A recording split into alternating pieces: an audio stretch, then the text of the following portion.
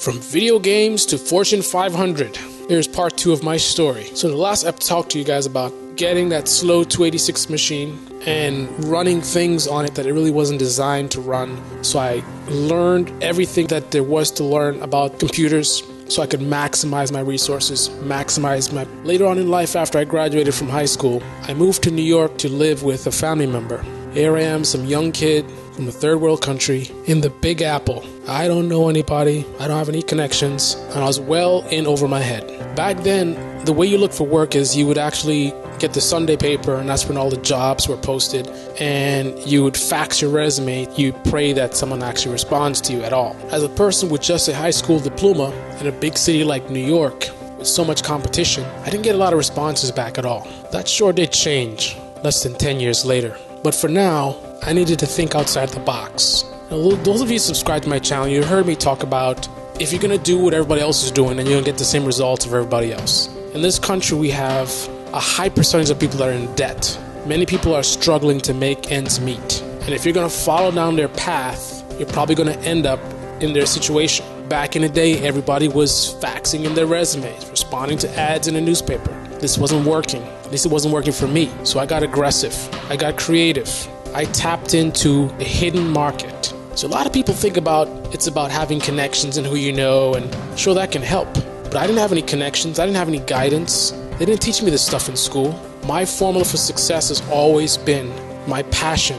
I'm not just gonna sit back and be another person faxing in resumes and not getting responses. I'm gonna figure out the answer to the puzzle. How can I stand out? How can I circumvent this problem? What is the problem? What is the solution? The solution I came up with is forget about the newspaper. That's for the masses. I don't want to be the masses. I want to be the one, the one that gets the job. So rather than getting buried with all the other facts and resumes, I went directly to the companies and started applying for jobs that weren't even posted yet. So pretty much I went around the island of Manhattan looking for where all the suits were.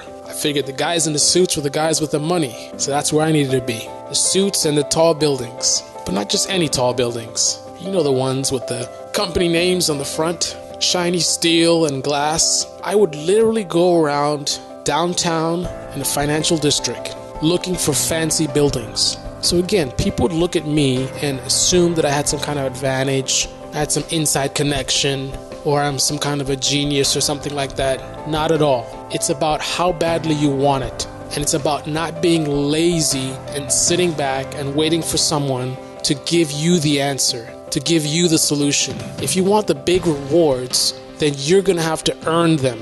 You need to figure out for yourself how you are going to achieve your goals. And if you have something that's not working, try something else. And if that doesn't work, try something else. And you keep trying until you find something that does work.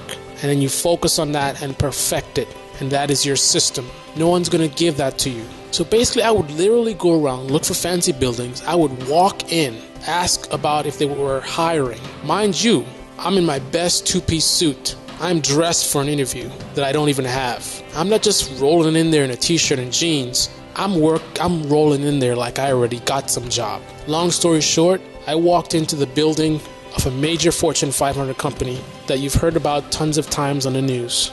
Asked about jobs, said they were hiring, dropped off my resume, had an interview within a week. Well, I got that job within about two weeks. And I don't remember the exact number, but they offered me 10,000 or 20,000 more than I had asked for.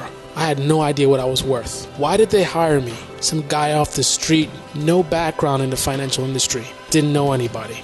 Why did they hire me and not one of the other tons of people that probably faxed in their resumes. Or maybe not, because again, I'm tapping into a hidden market. I was not responding to a job posting. I went straight to a company and asked them if they were hiring. So perhaps a manager plans to look for a new person, but hasn't started the process yet, and there I am, just showing up. So I get to skip in front of everybody else.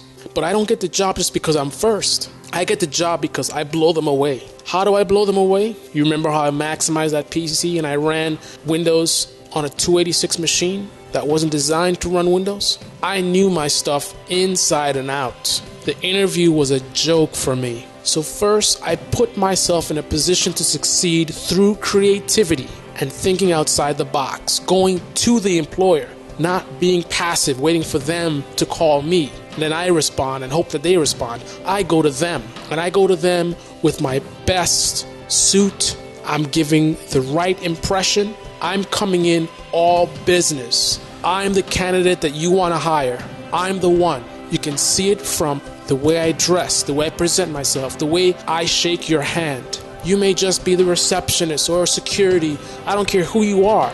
I'm treating you with absolute professionalism. When you go and you hand my resume to someone else, you're probably going to say, This guy, you should bring him in. This guy was sharp. His shoes were shined. His suit was tight. Yes, sir. Yes, ma'am. Eye contact, firm handshake. That's how I did it. But not only that, I had the skills to back it up.